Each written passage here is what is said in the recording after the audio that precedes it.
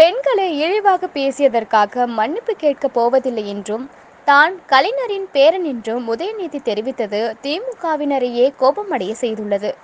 தலைமைக்கு புகார் தெரிவிக்கப்பட்டதை அடுத்து உதயநிதி தற்போது வருத்தம் தெரிவித்துள்ளார்.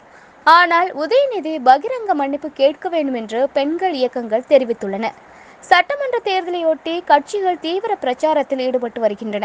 உதயநிதி பிரச்சாரத்தின் போது அரசியலில் உள்ள பெண்கள் அனைவரையும் இழிவுபடுத்தும் கருத்துக்களை தெரிவித்தார்.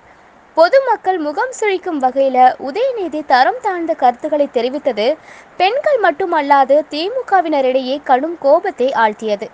உதயநிதி தனது பேச்சிற்காக பகிரங்க மன்னிப்பு கேட்க வேண்டும் என்று பொதுமக்கள் மற்றும் பெண்கள் அமைப்புகள் கோரிக்கை விடுத்தனர். இதை அடுத்து விழுப்புரத்தில் நேற்று பேசிய உதயநிதி நான் கலைஞரின் பேரன் மன்னிப்பு கேட்க மாட்டேன் என கூறியது மேலும் பரபரப்பை ஏற்படுத்தியுள்ளது. ஏற்கனவே குடும்ப அரசியலின் அடிப்படையில் கட்சி பொறுப்புக்கு வந்த உதய் என்று அவர் மீது குற்றச்சாட்டு வைக்கப்பட்டு வரும் நிலையில உதயநிதியின் இந்த பேச்சு குடும்ப அரசியல் திமுறை பறைசாற்றும் விதமாக அமைந்துள்ளது. எது விதைக்கப்பட்டதோ அதுதான் வளரும் என்று முதல்வர் எடப்பாடி பழனிசாமி கூறியிருந்த நிலையில் பெண்களை பற்றி தவறாக பேசிய உதயநிதி தான் கருணாநிதியின் பேரன் என்று கூறியதை பொருத்தி பார்க்க முடிகிறது. தன்னுடைய பேச்சிற்காக மன்னிப்பு கேட்க முடியாது என்றும் வேண்டுமென்றால் என் மீது வழக்கு போட்டுக் கொள்ளட்டும் என்றும் உதயநிதி தெரிவித்தார்.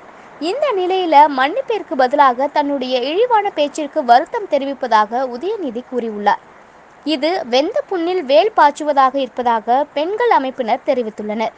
உதயநிதி பகிரங்க மன்னிப்பு கேட்காவிட்டால் போராட்டத்தில் ஈடுபட போவதாகவும் பெண்கள் அமைப்பினர் தெரிவித்துள்ளனர்.